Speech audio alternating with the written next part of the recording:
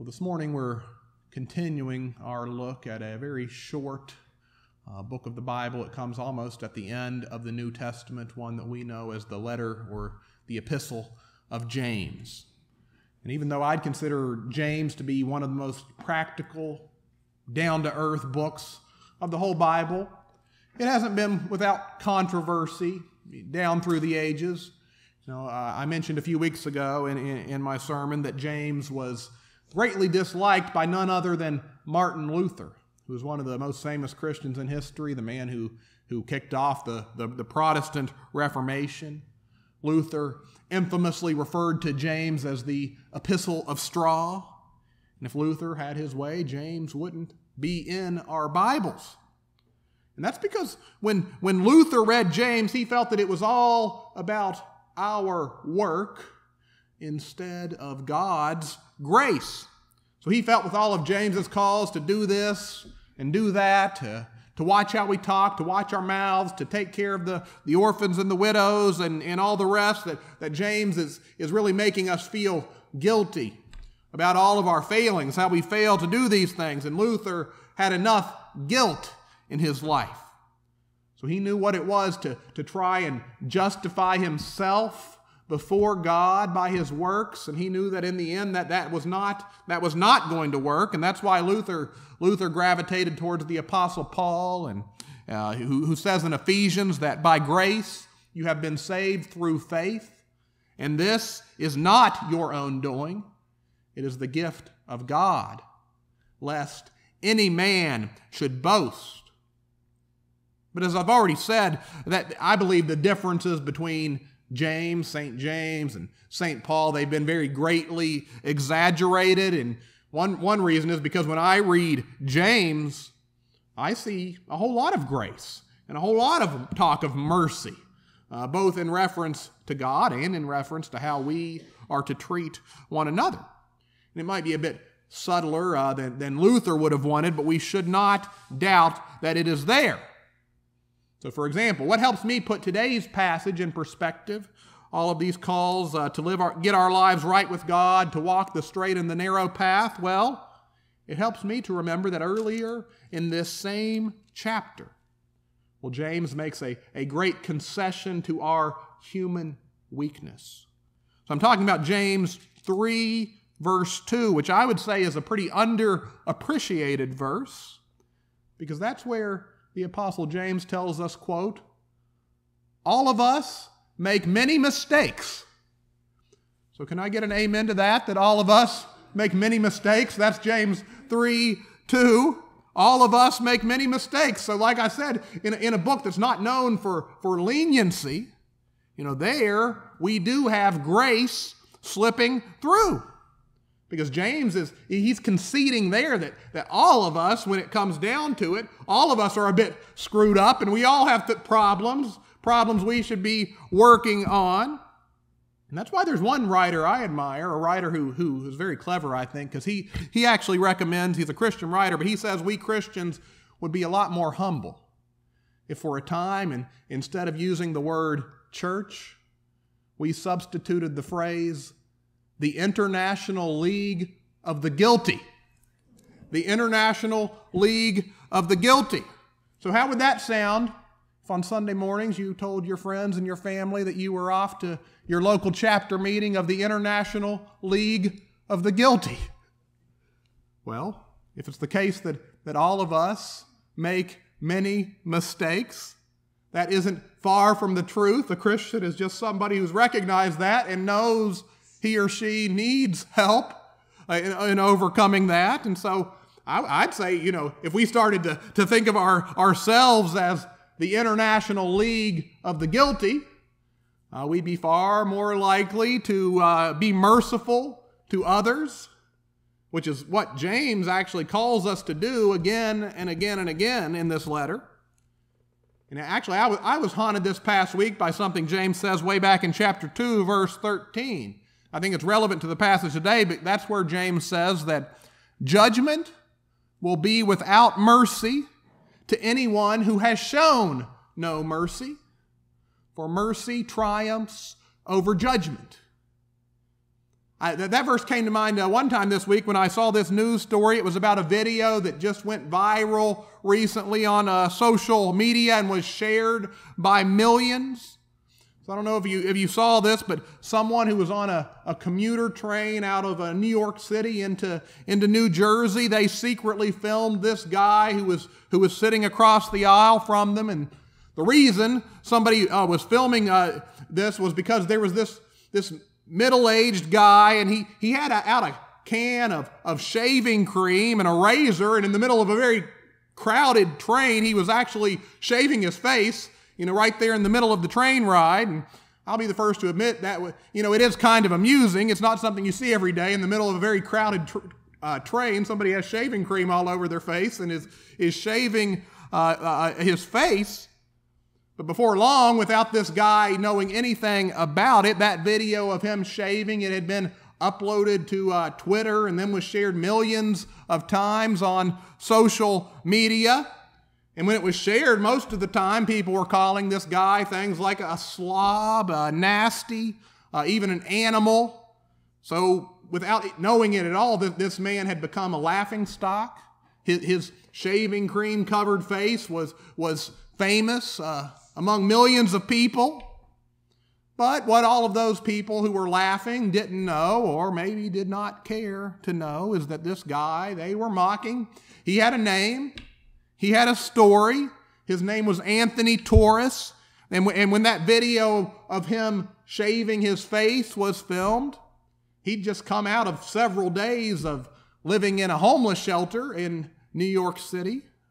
The reason he was on that train is because he was going to meet his brother Thomas uh, in New Jersey. This was a brother who'd, who'd wired him money for the train ride and invited him to come stay uh, at his house uh, with his family there. So Anthony was shaving on the train that day because he wanted to look presentable for a brother that he hadn't seen in a very long time. So when meeting his brother, he didn't want to look like he had been homeless, sleeping out on the streets as he had been, and that's why he was so ashamed. He was truly ashamed of that video of him being shared on the internet and why he told an interviewer, I never thought it would go viral. People making fun of me. Maybe people will have more feeling when they know what I've been through, he said. So, well, I don't know about you, but when, when I hear that story, I start to understand why James tells us that friendship with the world is enmity with God. Because really, the world has no problem mocking and demeaning somebody who is made in the image of God, someone whom God deemed worth dying for, as, as God deemed Anthony Torres. So for millions of people, maybe it made them feel better about themselves to share video of a homeless guy on the train shaving his face. Maybe it made them feel better about themselves because they were not him. But then when people who truly know God see somebody in that state, we say, There, but for the grace of God, go I.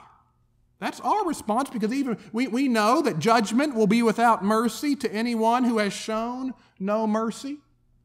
For mercy triumphs over judgment. And we know, as James tells us today, that the wisdom from above is first pure, then peaceable, gentle, willing to yield, full of mercy and good fruits, without a trace of partiality or hypocrisy. So, as Christians, we know too much about God's mercy to us, ever to hold back mercy from somebody else, whether they deserve it or not. That's why one great Bible commentator, uh, William Barclay, he has some very profound things to say about mercy in the book of James. Barclay writes In Christian thought, mercy means mercy for those who are in trouble, even if the trouble is their own fault. Christian pity is the reflection of God's pity. And that went out to men and women, not only when we were suffering unjustly, but also when we were suffering through our own fault. We're so apt to say of somebody in trouble, it's his own fault, or she brought it on herself, and therefore to feel no responsibility ourselves. But Christian mercy is mercy for all who are in trouble, even if they have brought that trouble on themselves. So I'll repeat that last line from William Barclay Christian mercy is mercy for all who are in trouble, even if they have brought that trouble on themselves. You know what? I'm, i was blessed over, over the past month uh, to see that kind of mercy on display. Mercy for those uh, the world has no use for. I'm talking about a, a, a, meeting of, of the church council of Spencer United Methodist Church, one of the churches I pastor, a meeting where Gus uh, from this church came and, and people from uh, Prevention Point, Pittsburgh. They came to petition us. Gus was there just to allow uh, uh, the, the parking lot to be used for a couple hours a week for this clean needle exchange. And I will admit, at the start of that meeting, almost everybody there was very skeptical about allowing this to take place myself included. You know, we worried that if we allowed something like that, we'd be enabling the opioid epidemic that's ravaging our neighborhoods right now. But after we were after we got an education, an education on the effectiveness of these programs in preventing HIV, other diseases like hepatitis, heart disease from spreading more than they are in our streets, and even more after we heard Gus's testimony, Gus's testimony that without a program like this available earlier in his life, that he would likely be dead right now. You know, we prayed about it and we decided we needed to give this, this program a try. And honestly, I believe this world is a better place, and I believe my life is more personally enriched because Gus is alive right now and doing ministry uh, to addicts in our community. And even more, if a person who is addicted to drugs is dead, they certainly have no chance of getting into recovery then. That's not going to happen in that case. So I said, well, how could I not support a program that would, that would bring the drug users out of the shadows where they're currently hiding, doing drugs in shame, and at least connect them to other people into a relationship with trained counselors, others who are going to be working for their healing? So when it comes down to it, I believe that that program is treating drug users not as an issue, but as fellow human beings like you and me who are in need of help. And there's no doubt in my mind at all, no doubt that those are the kind of people that Jesus Christ himself was blasted repeatedly for spending his time with. And no, I don't believe that, that our Lord Jesus would, would approve of everything they do, but he certainly doesn't approve of everything you and I do either. But we thank God that he's merciful to us regardless of that. You know, in, in these times, I've turned a lot lately to a, a, a, a phrase I heard several years ago from a very famous uh, Pittsburgher, uh, Fred Rogers, host of the children's program, uh, Mr. Rogers' Neighborhood. And there was a great uh, documentary I saw earlier in the summer about him. And Fred Rogers was an ordained minister, and I have to think that he loved and, and knew and loved the book of James very well because Mr. Rogers said something that sounds a whole lot like James. Rogers said, I believe that appreciation is a holy thing, that when we look for what's best in a person we happen to be with at the moment, that we're doing what God does all of the time. So, in loving and appreciating our neighbor and our neighbors, we are participating in something sacred. And there's a story about him that, that really shows by his actions what he meant by that, I believed. It was when he was on this trip out to California, and uh, he, a trip where he was filmed visiting Koko the gorilla. But on that same trip, Rogers took time out of his schedule to visit this fan of his uh, who lived out there. This was a young boy with cerebral palsy. In, in, in addition to that handicap, this boy had suffered physical abuse from one of his caretakers when he was a, a child, and he, he, he, he suffered from low self esteem, a lot of anxiety, and his mother wrote to, to Mr. Rogers saying that it would mean the world to her son uh, if he would come and meet with him. And, and Fred Rogers granted that request and visited uh, this, this, uh, this young guy at his home. And when Mr. Rogers entered the boy's room, well, the boy broke down and, and couldn't speak at all. He was just so nervous and he, he was so anxious that his mother had to take him out of the room and, and get him calmed down. But when he came back in, Mr. Rogers was waiting for him, and, and Mr. Rogers actually looked at him in the eye and said, I would like you to do something for me. Would you do something for me? Course, the boy said yes, he would. And Mr. Rogers said, I would like you to pray for me. Would you pray for me? And the boy was amazed at that because, uh, you know, he'd been prayed for a whole lot uh, by other people, but he had never been asked to actually be the one to pray for somebody else. And he was touched by that. And, and, and, and he, as he thought about it, he said, well, yes, he, he, would, he would keep Mr. Rogers in prayer. And when he became adult, an adult, this, this young man with cerebral palsy, he spoke often about what that did for his self esteem, knowing that a, a man who was as close to God as Mr. Rogers was would, would like him enough to, to ask him for his prayers. But when Mr. Rogers looked back on that story, he, he saw things in a different light because one day when an interviewer complimented him on, on his wisdom, in knowing that it would make that boy feel better about himself to be asked to pray for him, Rogers responded, Oh, no, that's not why I asked him to pray for me at all. I didn't ask him for his prayers for him, I asked him for me. I asked him to pray because I think that anyone who has gone through the challenges that he's faced in his life must be very close to God. And I asked him because I wanted his intercession. I needed him to pray for me. Now, when I hear that story, I understand what Rogers means by that quote that appreciation is a holy thing, that when we look for what's best in a person we happen to be with at the moment, we're doing what God does all of the time. Even more, I, I understand better the love that Jesus Christ has for me. Because when, when Jesus looks at me, he doesn't see me first and foremost in terms of the mistakes that I have made or, or in the wrong that I have done. When Jesus looks at me, he sees me as worth dying for. And he sees you. He sees you in exactly that same way. When God looks at us, he sees us in the light of the cross. He sees us in the light of the cross where his son Jesus Christ put himself in our place and gave himself for us all. Now, in spite of our rebellion and mercy, he gives himself so fully, so completely for each and every one of us that you and I need never doubt that we are loved, that we are valued. And that's a love that doesn't just appreciate what, what's best in us with words, it's a love that, that makes us worthy of being loved.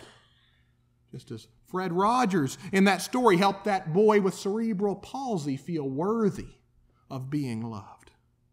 So that's a love that dignifies and makes new. It's a love that gives us strength to resist the devil in all of his pride and instead to draw near, draw near to a God who loves us a God who humbly gave himself in our place to save us. So may that love bless and keep us now. May that love empower us to live so that others see the love of God shining in us. In the name of the Father, and of the Son, and of the Holy Spirit. Amen.